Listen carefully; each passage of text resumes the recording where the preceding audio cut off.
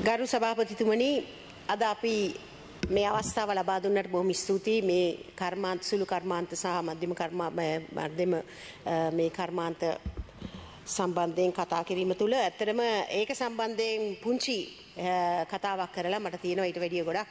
මම හිතන්නේ කතාවක් කරන්න. මේ ඇත්ත වශයෙන්ම බැලුවොත් එහෙම අපේ හැම පැත්තෙම මේ කොවිඩ් වසංගතය හින්දත් මේ රටේ ඇතිවෙච්ච මේ ආර්ථික අර්බුදය හින්දත් මේ සියලුම කර්මාන්ත මේ සුළු කර්මාන්ත සියල්ලටම විශාල වශයෙන් බලපෑමක් එල්ල වෙලා තිබුණා. අපි ගත්තොත් විශේෂයෙන්ම සංචාරක අමාත්‍යංශය තුළ අපි සංචාරක ව්‍යාපාරය ගත්තොත් සංචාරක ව්‍යාපාරයේත් මේ පුංචි හොටෙල්ස් වලට ණය ගෙවීම් කරගන්න බැරුව ඒගොල්ලන් ගොඩාක් හොටෙල්ස් වහලා තියෙනවා රටේ හැම තැනම වගේ මේ පුංචි හෝටල් ටික මධ්‍යම විදිහේ බැලුවොත් ඒ හෝටල් ටික මේ සියලුම දේවල් බහලා තියෙනවා. මේක විශාල බලපෑමක් වෙලා තියෙනවා අද සංචාරක කර්මාන්තයටත්. ඒ වගේම මේ රටේ දීවර මේ රටේ අ, හස්ත මේ රටේ මේ වගේ ගොඩක් කර්මාන්තයට ගෘහ නිර්මාණ මේ ගොඩක් කර්මාන්තයට මේක බලපෑවා. නමුත් අපි අද දකිනවා මේක යම් කිසි විදිහකට සහනයක් සලසල දෙන්න රටේ අපේ ගරු ජනාධිපතිතුමාත් ඇතුළුව අපේ ගරු මේ තරුණ අපේ දිලු මමනුගම ඇමතිතුමාත් මේ සියලු දෙනාම වැ- වැඩ කොටසක් සලස්සලා තියෙනවා. මම හිතන්නේ මාස 6ක සහන කාලයක් ලබා දීලා මේ ණය ගෙවීම් වලට නැවතත් අපි සංචාරක අමාත්‍යාංශය ගත්තොත් විශේෂයෙන්ම අ, මේ මේ හෝටෙල් ස්ට්‍රේඩ් එක කරන කරගෙන යන අයට ඒ වගේ ඒගොල්ලන්ගේ ණය ගෙවීම් වලට අ, මේ සහනයක් ලබා දෙන්න ඉදිරියේදී බලාපොරොත්තු වෙනවා. ඒ එක්කම මට කතා කරන්න ඕනේ අද මේ පාර්ලිමේන්තුව තුල මට කියන්න ඕනේ මේ පහුගිය කාලෙත් මේ ඊයේත් මන්ත්‍රීතුමෙක් මේ පාර්ලිමේන්තුව තුළ කතා කරා රටේ ජනාධිපති සහ ඇතුළුව මම මේ රටේ අධිකරණයකට බලපෑම් කරලා නඩුවක් කල් දැම්ම කියලා. ඇත්ත වශයෙන්ම මේක මගේ ප්‍රිවිලේජ් එකකට මගේ මන්ත්‍රී ප්‍රිවිලේජස් කඩවීමක්. සහ මම මේක ගැන ඉදිරියට කටයුතු කරන්න බලාපොරොත්තු වෙනවා. මොකද මේ පාර්ලිමේන්තුව කියලා සියලු දේම කියවගෙන කියවගෙන යන්න කාටවත් එහෙම ඕමනා අවස්ථාවයක් නැහැ. මොකද අධිකරණයක අධිකරණයට බලපෑම් කරන්න කාටවත් බෑ රටක. ඒක හින්දා මේ මේ මන්ත්‍රීතුමා ඊයේ සම්පූර්ණයෙන්ම කතා කරේ මේ අධිකරණයට බලපෑම් කරා කියලා කෙලින්ම අනිත් එක මගේ ජාතකය ගැන මගේ ජාතකය හොඳ ජාතකයක් හොඳ දකුණේ මාතර කැකනදුර හොඳ සිංහල ජාතකයක් තියෙන කෙනෙක් මම මං ඒක ගැන හොඳටම ආඩම්බර වෙනවා. එයින මගේ ජාතකය හොයන්ට ලෑස්ති වෙන්න ඉස්සෙල්ලා ඊට වැඩිය වැදගත් දෙයක් තියෙනවා අද මගේ අතේ කියන්න. මතක තියාගන්න. මට අද ලැබිලා තියෙනවා කූට ලේඛනයක්. කූට ලේඛනයක්. මම සමගි ජන බලවේගේ උපලේකම් කමින් අස්සුනා කියලා ලේඛනයක් හදලා මේක දිස්ත්‍රික්ක? උසාවියේ ඊයේ ඊයේ දවසේ ජනමාධ්‍යවලත් විකාශනය වුණා ඔය චෝදනාව එල්ල කරන්නේ මට member, what is the point of order? එතකොට දැන් මෙතන තියෙන member, this is not a point of order. Thank you. සිත් thank you ගරු සභාපතිතුමා නෑ අධිකරණයට අපහාස කරා ඔබතුමා ඊයේ මේ පාර්ලිමේන්තුව තුල member. අධිකරණයට අපහාස කර අධිකරණයට බලපෑම් කරා කිව්වා මම සමග ඇතුළුව ග- ගරු ජනාධිපතිතුමා. ත- නඩුවක් කල් දාගන්න. නඩු කල් දාන්න බෑ. කාටවත් එහෙම. නඩුව කල් දාන්නේ රටේ ඉන්න අධිකරණය සහ ඒකේ ඉන්න නඩුකාරතුමාලා. කාටවත් නඩුව එහෙම බ- මේ කල් දාගන්න බෑ. ඒ හින්දා ඒක මතක තියාගන්න. ක- කිසිම විදිහකට බලපෑමක් කරන්න බෑ අධිකරණයකට.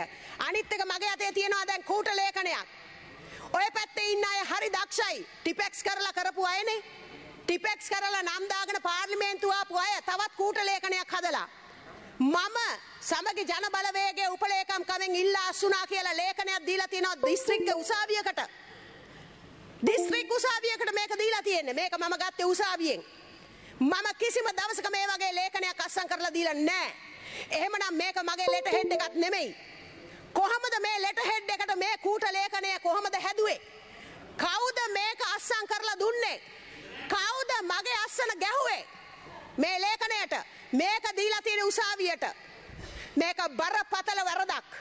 මොකද මම අදටත් සමගි ජන බලවේගයේ උපලේකම් හැටියට රෙජිස්ටර් වෙලා ඉන්නවා නීත්‍යානුකූලව අර මැතිවරණ කොමසාරිස් කාර්යාලේ. කිසි කෙනෙකුට ඒක අයින් කරන්න බැහැ මම මිසක්. එහෙමනම් කොහොමද මේ වගේ කූට ලේඛනයක් හදලා දිස්ත්‍රික්ක උසාවියකට දුන්නේ? ඔය සමගි ජනබලවේගය පැත්තෙන් මම ඉල්ලා අස්සුනා කියලා මේ උපලේකම් තනතුරින්. කොහෙන්ද මේක හැදුවේ? කවුද මේ අස්සන ගැහුවේ? කොහෙන්ද මේ ලෙට හෙඩ් එක ආවේ? මේක වැලිඩ් නෑ. මේකේ මගේ සීල් එකක් නෑ. මම අද ගිහිල්ලා CID එකට කම්ප්ලේන්ට් එකක් දාලා තියෙනවා මේක ගැන.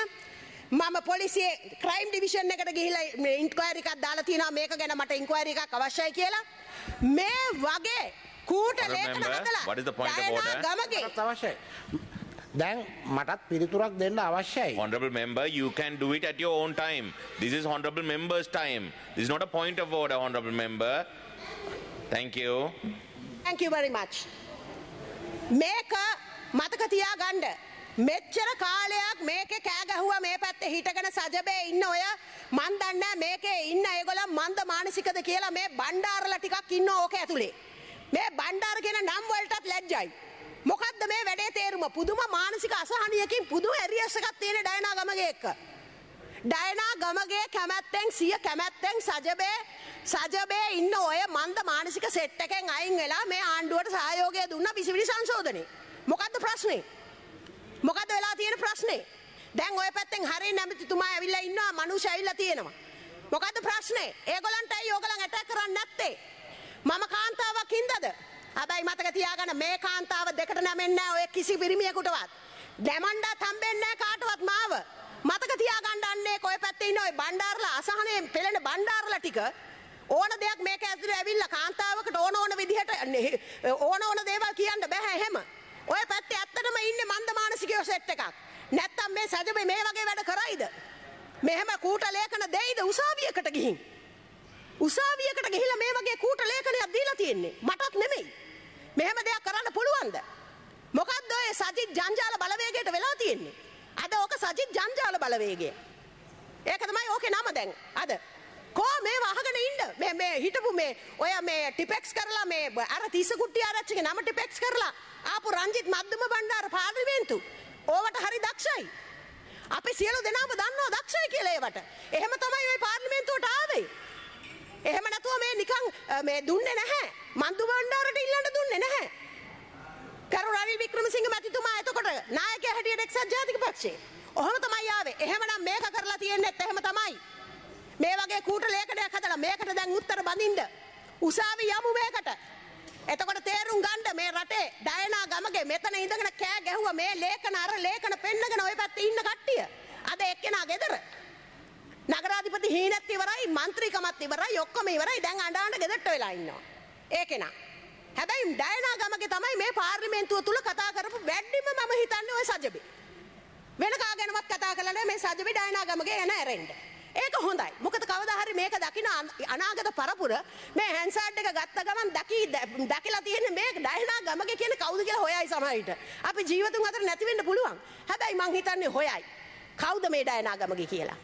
ඒ හින්දා තමුන් අනිත් මිනිසුන්ට අපහාස කරගෙන කූට ලේඛන කියාගෙන අර උසාවි වල ඔය සජපේ පැත්තේ ඉන්න ලෝයර්ලා මං කියන්න ඕනේ. මේකේ තියෙන බරපතලම වැරද්ද අනිත් එක. ලෝයර් නීතිඥවරු දෙන්නෙක්. ට්‍රූ කොපි කියලා ට්‍රූ කොපි කියලා එකක් පාරක් අස්සම් කරපු දෙයක්. නැවත කොපි එකක් අරගෙන ඒක නැවත ට්‍රූ කොපි කියලා නීතිඥවරයෙක් අස්සම් කරලා තියෙනවා මේක. මොන නීතියක්ද මේ රටේ තියෙන්නේ එහෙම? ට්‍රූ කොපි කියලා එක සැරයක් තියපු එකක ෆොටෝ කොපි එකක් අරගෙන නැවතත් ලෝය කෙනෙක් අස්සම් කරනවා ඒක ට්‍රූ කොපි කියලා. කොහොමද මේක උනේ? කොහෙද මේ නීතිය? අන්න ඒව ගැන කතා කරන්න දැන් ඔය විපක්ෂ සජබය අය කොහොමද මේක උනේ කියලා අහගන්න ඕගලන්ගේ නායකින්ගෙන්. අහන්න ඔය මහලේකම් කියා ගන්න ඔය රංජිත් මද්දුම බණ්ඩාරගේ. මේක කළේ කොහොමද කියලා. මේක තුල පුළුවන් තරම් කූට ලේඛන හැදුවා අරක කළා මේක කළා අත්අඩංගුවට ගන්න ඕනේ හිරේ දාන්න ඕනේ අරවා කිව්වා මේවා කිව්වා. මේ රටේ ජනතාවට මම ඔප්පු කරනවා කූට ලේඛන හැදලා තියෙන්නේ කවුද කියලා දැන්? මේක තුලින්ම. කවුද කූට ලේඛන හදලා තියෙන්නේ කියලා? මට කූට ලේඛන දෙන්න ඕනේ නැහැ කොහෙවත් ගිහිල්ලා. මට කූට ලේඛන දෙන්න අවශ්‍ය නැහැ. මං ඉපදුනේ මේ රටේ. මම හොඳ සිංහල තාත්තා කෙනෙක්ගේ දුවෙක්. දකුණේ. ඒ හින්දා මට අවශ්‍ය නෑ කූට ලේඛනයක් අලුතෙන් හදලා කාටවත් දෙන්න මොකකටවත්. මට හොඳ උප්පන්නයක් තියෙනවා හොඳ ජාතකයක් තියෙනවා මතක තියාගන්න. ওই පැත්තේ ඉන්න ඔය කතා කරපු മന്ത്രിතුමාලා. මගේ ජාතකය ගැන. තේරුණාද? අනිත් එක මතක තියාගන්න මේ පාර්ලිමේන්තුවට මිනිස්සු ඇවලා තියෙන්නේ මහජනතාව. ඡන්දයක් දීලා ඇවලා තියෙන මේ මහජනතාව මේ පාර්ලිමේන්තුව. තමන්ගේ තියෙන කතා කරන්න හැකියාවක් නැත්තං කෙනෙක්ගේ නමක් අල්ලගෙන කෑගහගෙන මෙතන කාලේ නාස්ති කළ මේ මුදල් නාස්ති කරන්න නෙමෙයි. මේ රටේ මහජනතාවක සුභසිද්ධිය සඳහා මේ රටේ මහජනතාවට වෙන්න ඕන මේ රට හැදෙන්ඩ මේ මනජ මහජනතාවට සේවාවක් වෙන්න ඕන මේකෙන්. මේ රටට සේවාවක් වෙන්න ඕන මේ පාර්ලිමේන්තුවෙන්. එහෙම නැතුව ඇවිල්ලා එක එක්කෙනාගේ ඇවිල්ලා මඩ ගහන්නයි ජාතක හොයන්නයි අසභ්‍ය වචන කියන්නයි මෝල්ගස් කොහෙද මන් දන්නේ නැහැ කතාවක් කිව්ව එක බණ්ඩාර කෙනෙක්. මන් දන්නේ කොහෙද වෝල් ගස් අරගෙන යන්න ඕනේ කියලා. Honorable member please wind up. අනිත් එක මතක තියාගන්න. අපි ඔය සමහර മന്ത്രിවරු වගේ chat කරන්නේ මේ FB ගිහිල්ලා. FB වල chat කරලා අන්තිමට ඔක්කොම අහගෙන කසාද බැඳලාද ඔයාගේ මහස්බන් කොහෙද? ඒ වගේ ඒවා අහපු മന്ത്രിලා තව ඉස්සරහට මං ගේනවා ඉදිරියට.